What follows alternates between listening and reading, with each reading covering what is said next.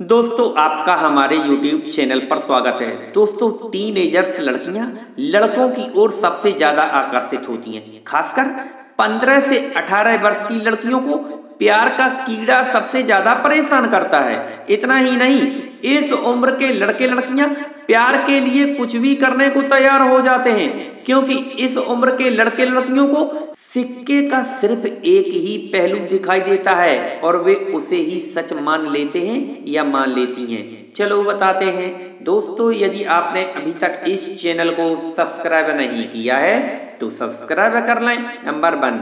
दोस्तों, ये बात सच है कि 15 से 18 वर्ष की उम्र के लड़के लड़कियाँ एक दूसरे की ओर सबसे ज़्यादा अट्रैक्ट होते हैं। वहीं इस उम्र का झुकाव काफ़ी हद तक निस्वार्थ होता है, क्योंकि इस उम्र के लड़के लड़कियों के मन में सिर्फ़ प्यार की ही लहरें उठ रही होती हैं। लेकिन जैसे जैसे उम्र बढ़ती जाती है, वैसे वैसे लोग प्यार को अपनी शारीरिक इच्छाओं की पूर्ति का हिस्सा बना लेते हैं। खैर, कुछ एक लड़के लड़कियाँ ऐसे भी होते हैं जो अपनी शारीरिक इच्छाओं के लिए प्यार नहीं करते।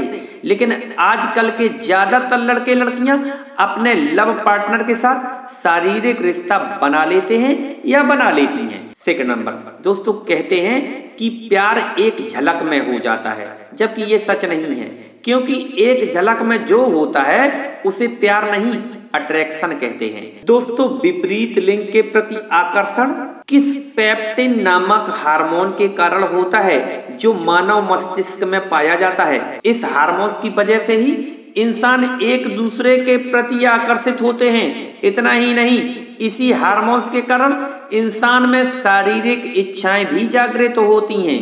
थर्ड नंबर, दोस्तों, किशोर किशोरियों का एक दूसरे के प्रति शारीरिक व भावनात्मक आकर्षण, उनके व्यक्तित्व विकास की अत्यंत सामान्य प्रक्रिया होती है। अगर इस आकर्षण को सही दिशा ना मिले तो टीनेजर्स यानी कि किशोर किशोरियों का जीवन, वह संपूर्ण व्यक्तित्व बिखर सकता है। इसके अलावा, किशोरावस्था में होने वाले हार्मोन परिवर्तन, जिसकी वजह से कम उम्र के लड़के लड़कियाँ शारीरिक व भावनात्मक बदलाव से होकर गुजरते हैं। इतना ही नहीं हार्मोनल परिवर्तन के कारण एक दूसरे के बारे में ज़्यादा से ज़्यादा जानने की जिज्ञासा में रहते हैं और उनमें शारीरिक फीलिंग्स का विकास भी होता है। दोस्तों, वीडियो को लाइक करें, चैनल को सब्सक्राइब करें, फिर मिलेंगे एक नई जानकारी के साथ। तब तक के लिए नमस्कार।